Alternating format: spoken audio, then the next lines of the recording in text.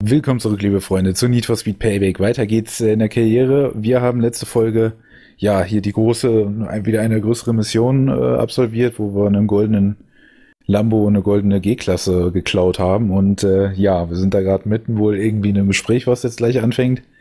Und äh, ja, ich würde mal sagen, wir hören da mal rein. Jess, das mit den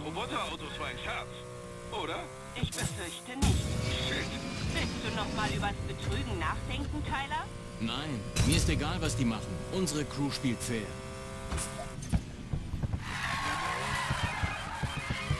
Tyler, Tyler! Gut, dass meine Wette längst platziert ist. Deine Quote hat sich deutlich verbessert.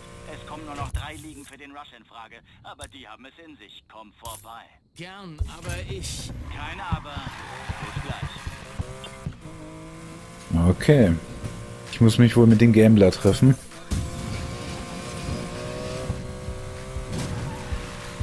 Ja, war letztes Mal auf jeden Fall eine relativ krasse Mission. Mich interessiert gerade, wie weit sind wir jetzt gerade? 72%, okay. Also wir kommen voran. Ich muss auch zugeben, ich will irgendwie, ich will mit dem Spiel fertig werden.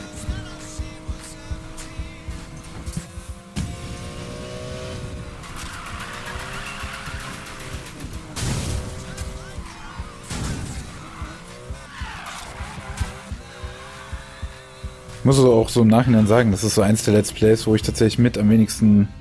Also mir macht das schon Spaß, das irgendwo zu Let's Playen, aber äh, mir macht so mit am wenigsten Spaß von allen, die ich bisher gemacht habe. Selbst Undercover fand ich da noch unterhaltsam. Du hast echt in ein Wespennest gestochen, Tyler. Das Haus ist vollkommen konfus und du weißt, was man macht, wenn ein Gegner schwächelt, oder? Man erhöht, bis er aussteigt. Es wird Zeit für die Hausliegen.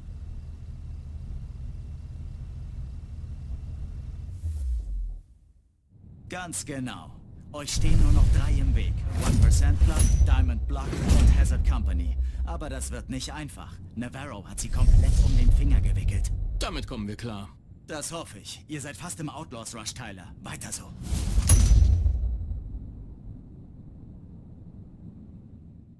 Ja, die vier Sachen müssen wir jetzt noch machen. Okay, dann stellt sich jetzt mal wieder die Frage, womit fangen wir an? Also Rennen würde ich so zwischendurch machen. Ich hätte, weil wir das vor kurzem gemacht haben, würde ich das so mit als letztes machen. Ich hätte eigentlich noch mal Bock auf Drag-Rennen, ehrlich gesagt. Oder? Oder erstmal wieder Offroad. Offroad wäre natürlich auch ganz cool. Stellt sich nur die Frage, was für ein Offroad-Fahrzeug ich fahre. Ob ich mir dafür vielleicht einen kaufe.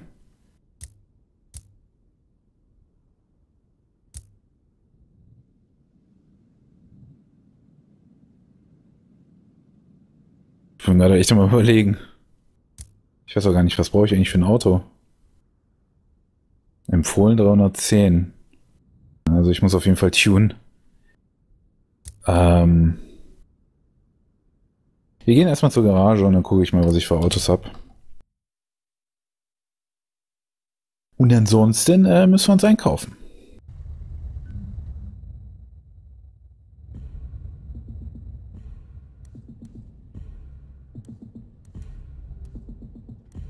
Tauschen wir mal kurz den Skyline. Den haben wir noch dazu bekommen. Das ist momentan mein schnellstes, beziehungsweise mein bestes Auto. Ich hätte Bock auf was anderes, aber momentan haben wir leider nichts anderes. Ein älterer Subaru wäre halt cool, ne? Ich nehme den jetzt erstmal, dann fahre ich nochmal flott zum Offroad-Händler. Und da muss ich jetzt erstmal gucken.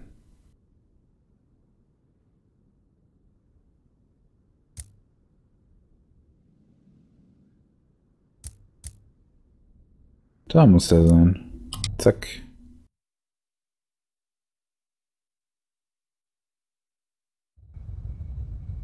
So, ähm, geht mir nicht auf den Keks. Habe ich den? Ne, den habe ich glaube ich nicht jetzt als Dings gemacht. Den als Offroader. Genau, Golf 7 als Offroader. Ja, oder ich nehme halt den, den ich schon hab, ne?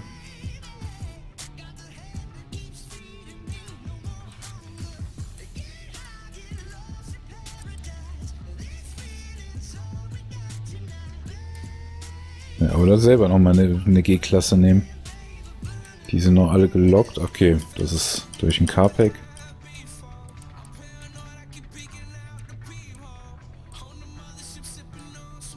Ich finde so, als Offroader passen die alle nicht so. Der hier würde vielleicht noch passen, aber da hätte ich, da möchte ich den doch eher im normalen Need for Speed Style tunen. Man merkt so, ich bin so kein Offroad-Freund.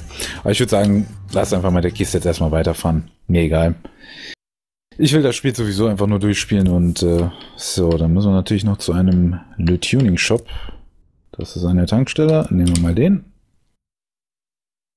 Weil das Ding braucht noch ein bisschen Power. So. Du Kacke, okay. Block, Turbo und Getriebe.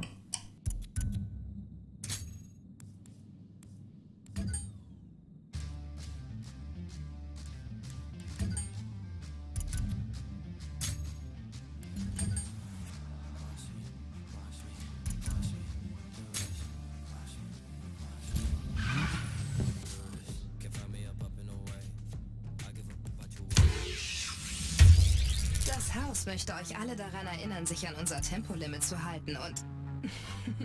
Erwischt? Eure Hüterin möchte euch daran erinnern, so zu fahren, als hinge eure Freiheit davon ab. Denn genau so ist es. Freunde, auf den Straßen herrscht Krieg. Und wie es aussieht, werden Tyler Morgan und seine Crew ihn gewinnen. Während sie versuchen, Silver Rocks Platz im Outlaws Rush zu ergattern, stellt sich eine Liga nach der anderen hinter ihren neuen Racing Champion. Aber noch ist der Kampf nicht vorbei. Das Haus versucht mit aller Macht seinen eigenen Champion ins Rennen zu schicken. Und glaubt mir, diese Ligen sind absolut loyal. Was ist mit dir, Freund? Es ist an der Zeit, sich für eine Seite zu entscheiden. Wir sehen uns auf der Straße.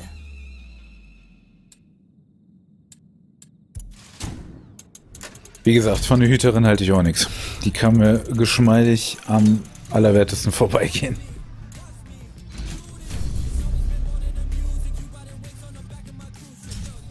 Nicht mehr, wie viel ich brauchte. War da nicht irgendwas von 300 sonst was?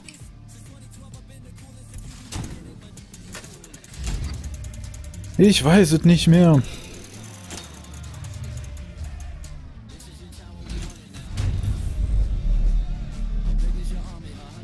Auch ein. Also Block. Block und Kopf brauchen wir noch.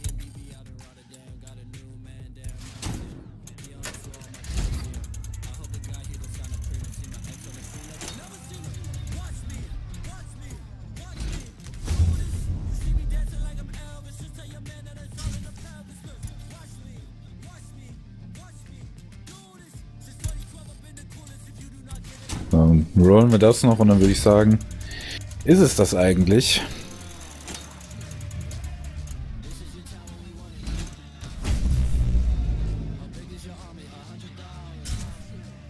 Können wir natürlich die ganzen Teile hier nochmal loswerden.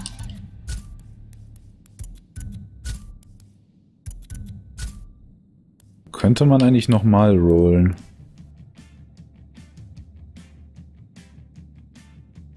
Äh, ich glaube, gucken wir mal vielleicht nach. Machen wir es mal noch so. Ja, diese Speedcards, das ist echt schlecht gemacht. Die Idee dahinter ist zwar ganz nett, weil es hat ja auch mit Gambeln zu tun und wir sind ja in einer Art Las Vegas. Aber es ist halt fürs, also man will, das normale Tuning ist halt 100.000 Mal besser, ne? So, 310 haben wir jetzt. Reicht das? Ja, tatsächlich. Also ich musste tatsächlich mich da zu Tode rollen, bis ich da mal eine Schnitte habe. Was ehrlich gesagt ziemlich kacke ist.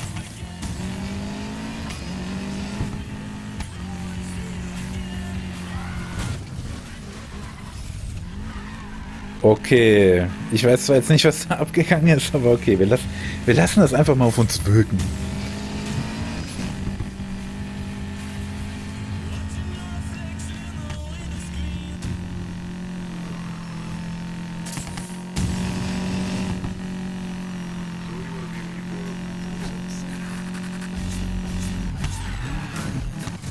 Alter, komm doch rum, ey.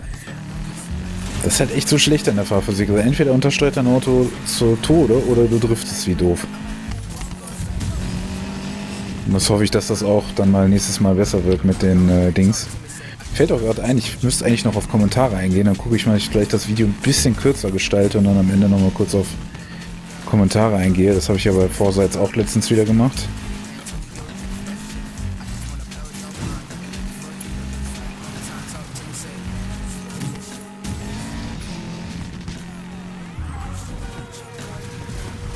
So.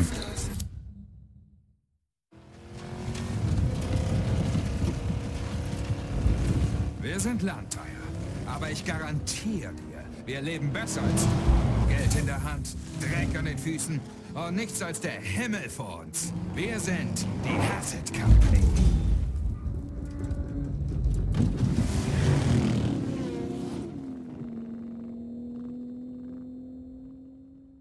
Läuft bei euch.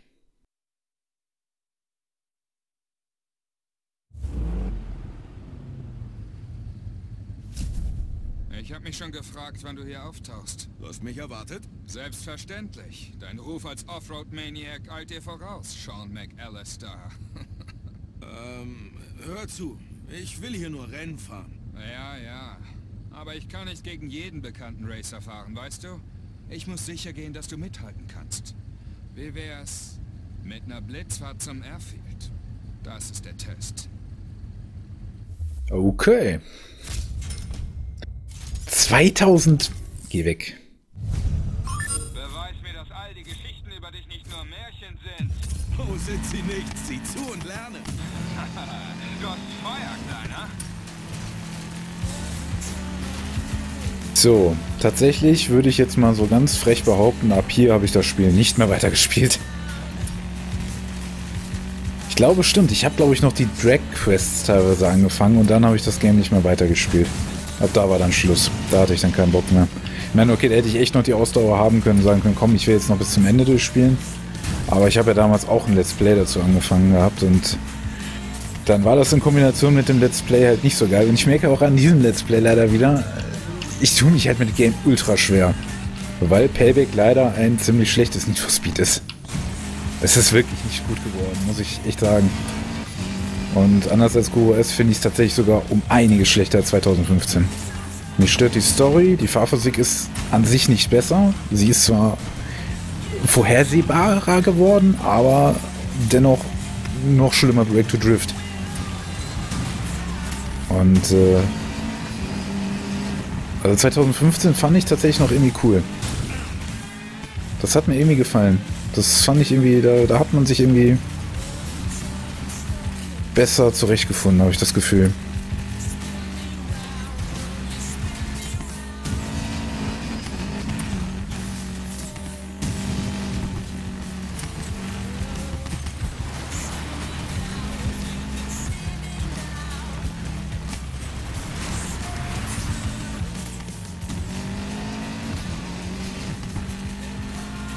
Also die Story macht viel kaputt, aus meiner Sicht. Die Speedkarten sind scheiße.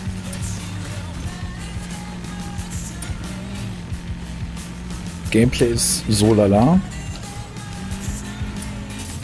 Das einzig Coole, was ich, was ich wirklich, was mir Spaß gemacht hat, waren eigentlich diese Wracks und die Wrackteile finden. Das war in Ordnung.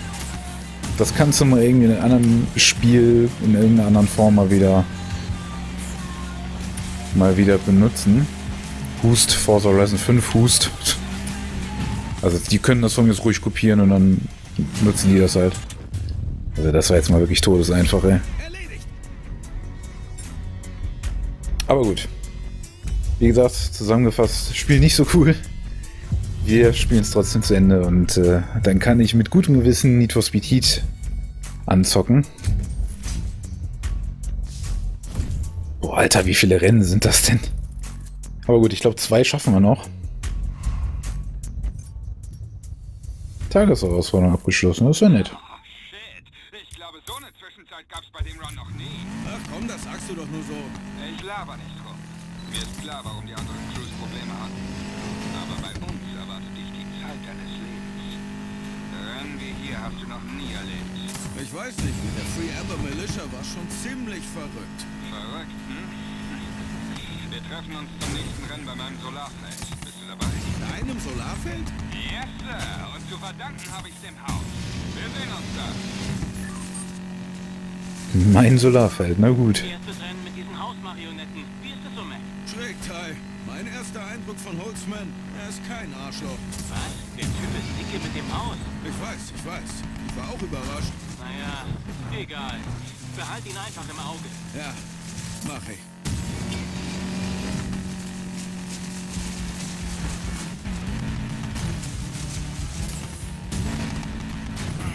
Oh, da sind schon die, die Solarzellen, das Solarfeld. Joa.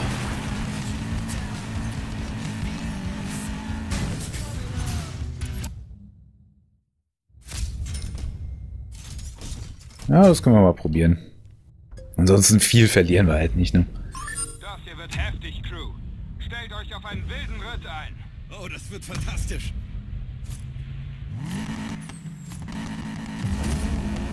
Jetzt geht's rund.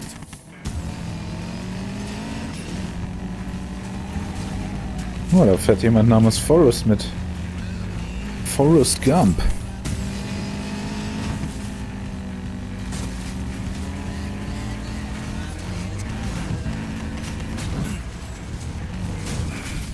Das ist schlecht.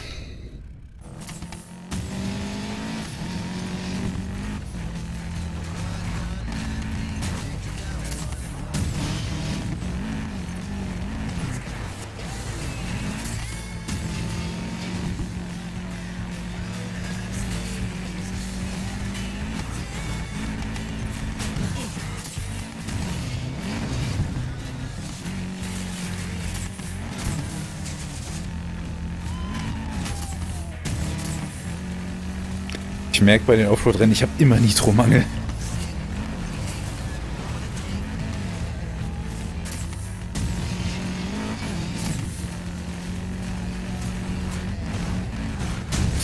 Ach Mann, ich sehe nix. Oder? Warte. Die bauen da gerade Scheiße. Ich wollte schon neu starten. Ich war eigentlich dabei, neu zu starten. Aber der erste ist trotzdem viel zu weit weg.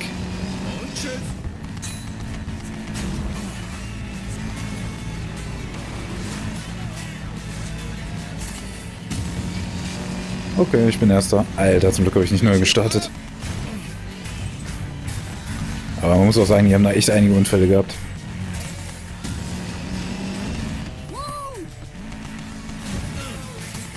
Das Auto wird richtig malträtiert, ey.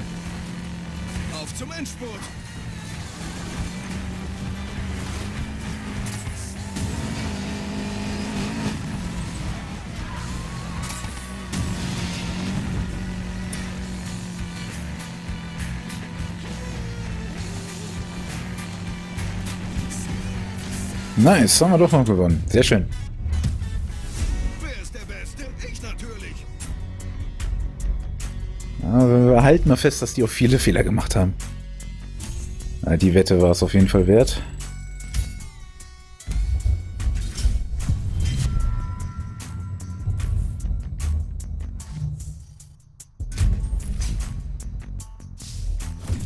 Jo, ich würde sagen, ein Rennen fahren wir noch. Für dieses Video.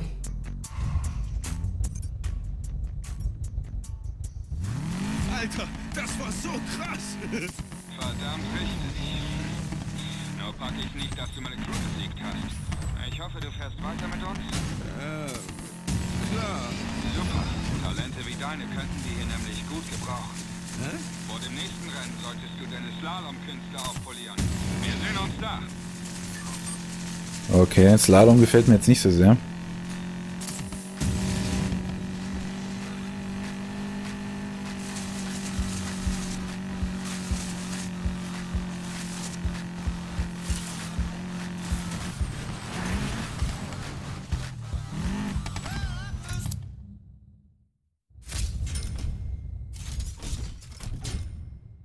Das würde ich auch gerne mal probieren.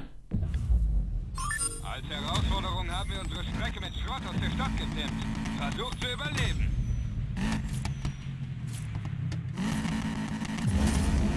Ihr könnt der Stadt also einfach irgendwas befehlen und sie macht es? Wenn du zu uns gehörst, kannst du jedem alles befehlen, was dir einfällt. Okay, das war einfach.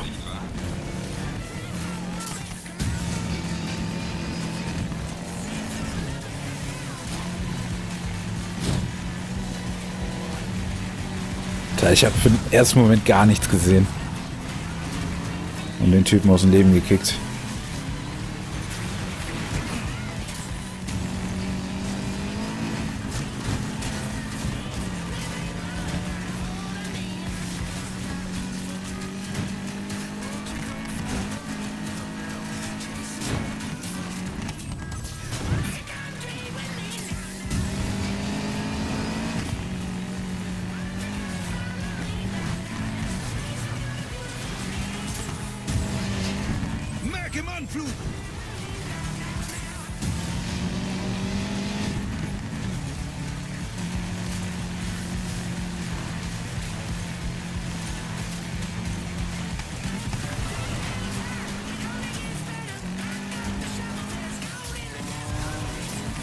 Ich verkacke gerade ein bisschen. Aber wir haben noch ein paar Kilometer vor uns.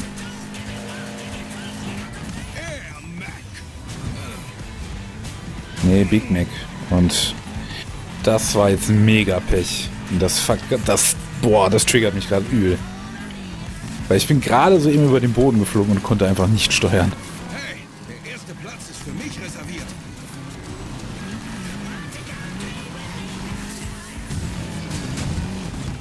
Mann. Das hat schon seinen Grund, weswegen ich mit Offroad anfange, weil ich möchte das hinter mich bringen, weil... Ja, komm. Ja. Neu starten, danke. Tschüss. Hätte ich ja nicht annehmen können, egal. Boah, das hat gerade getriggert, ey, wie ich da einfach weggeflogen bin und einfach überhaupt nicht mehr auf mein Leben klarkam, ey.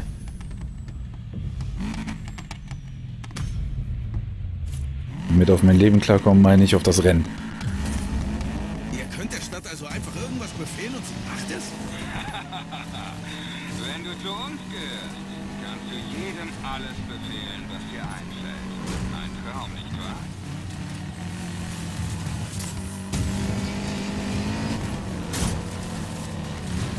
Du darfst halt echt nicht zu sehr ins Schlingern kommen, ey.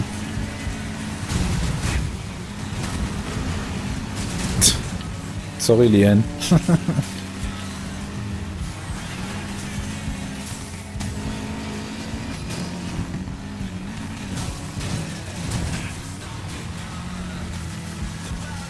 Schön auf faire Weise gewinnen.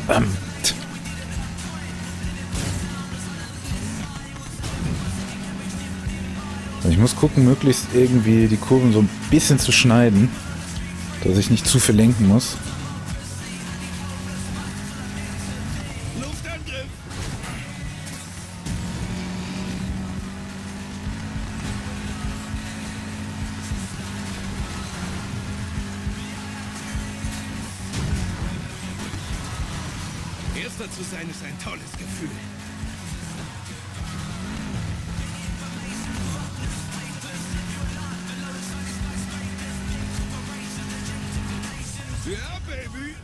Die Stelle ist scheiße.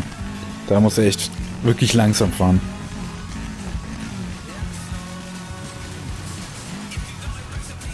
Alter, Untersteuern des Todes. Ich hasse Offroad. Aber gut, man muss es halt hinter sich bringen, ne?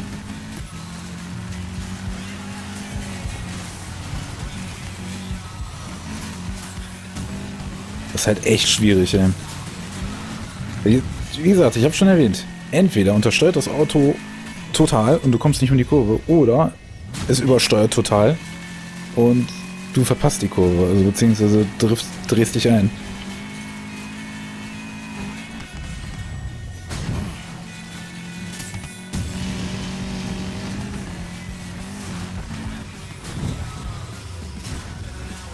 Alter, das war fies. zwei Kilometer, das Rennen ist voll lang.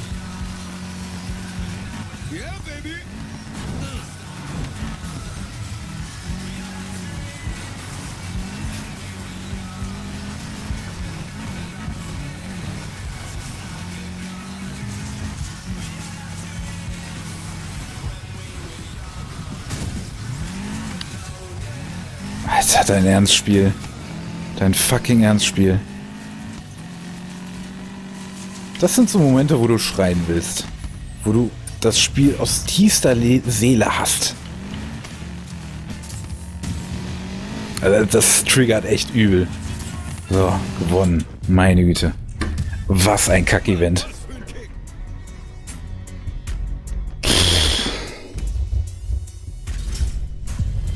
Also es tut mir schon mal leid, dass ich so viel schlechte Laune wegen diesem Spiel verbreite, aber ihr seht ja, was das für eine Kacke ist. Alter. Ich werde, glaube ich, meine Need for Speed Ranking Liste nochmal überarbeiten. Holzmann, deine Crew hat's da draußen echt gerissen. Ja, kaum zu glauben, dass sie noch vor kurzem echt miese Fahrer waren. Was? Wie, wie meinst du das? Das verdanken wir dem Haus. Es hat uns richtig nach vorn gebracht, falls du verstehst. Nein, tu ich nicht. Macht nichts. Das kommt noch. Du willst doch weiterfahren, oder? Äh, aber hallo. Gut. Ja, ich würde sagen, das Weiterfahren, das erledigen wir im nächsten Video. Was rausgefunden? Noch nichts. Aber mit diesem Wagen stimmt was nicht. Ich gebe hier draußen alles, aber kann kaum mithalten. Alles klar. Grab weiter, Mac. Aber sei vorsichtig. Bin ich doch immer. Das lasse ich jetzt einfach mal so stehen. Okay. Gut, was ich auch noch rausfinden möchte vorher, ja, da steht schon empfohlen 350. Das heißt, ich muss echt dringend mein Auto tunen, ey. Das ist krass. Gut, dann müssen wir mal schauen, dass wir das irgendwie nebenher machen. Dann porte ich mich mal dahin und dann würde ich sagen, äh, ja, sollen wir das noch jetzt schnell tunen? Ich würde sagen, wir können den Versuch noch jetzt schnell ein bisschen aufzupimpen. Weg. Weg. Okay, das ist alles weg. Das heißt also Auspuff, Getriebe und Turbo, Turbo-Auspuff, Getriebe. Ach verdammt, ich habe gar nicht genug Rolls.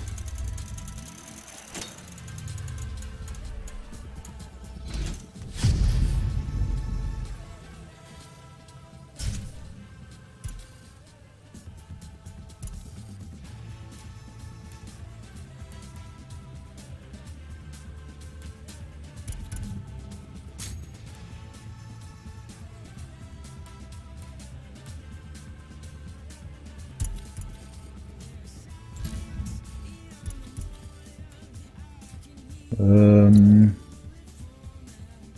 Getriebe wäre halt noch dringend, ne? Getriebe und Block. Nee. Doch.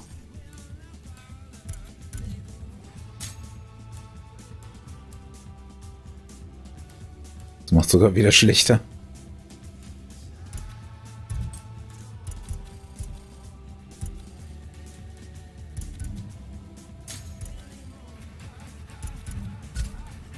Gleich nochmal rollen? Dann roll ich nochmal für Getriebe und Turbo. Und dann sind wir auch erstmal wieder durch. Und ich merke, dass das super viel Zeit kostet mit diesen Speedkarten. Das ist halt echt schlecht.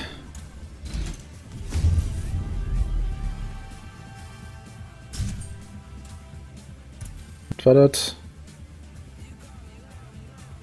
Na gut, jetzt ist das alles auf 14. 344 habe ich jetzt. Aber ich könnte mir jetzt sogar noch was Besseres kaufen. Der Rest macht kaum Unterschied. Dann würde ich sagen, lassen wir die Kiste erstmal so. Ähm, ja, und dann würde ich sagen, nächste Folge äh, gehen wir dann die nächsten Rennen an hier in Need for Speed Payback. Und äh, ja, ich hoffe, ich komme da auch wieder ein bisschen besser durch. Und äh, ja, ansonsten war es das erstmal mit diesem Video. Nächstes Mal geht es hier weiter in Fortune Valley. Und ich hoffe, ihr schaltet dann auch wieder mit ein. Haut rein, Leute. Bis zum nächsten Mal. Ciao, ciao.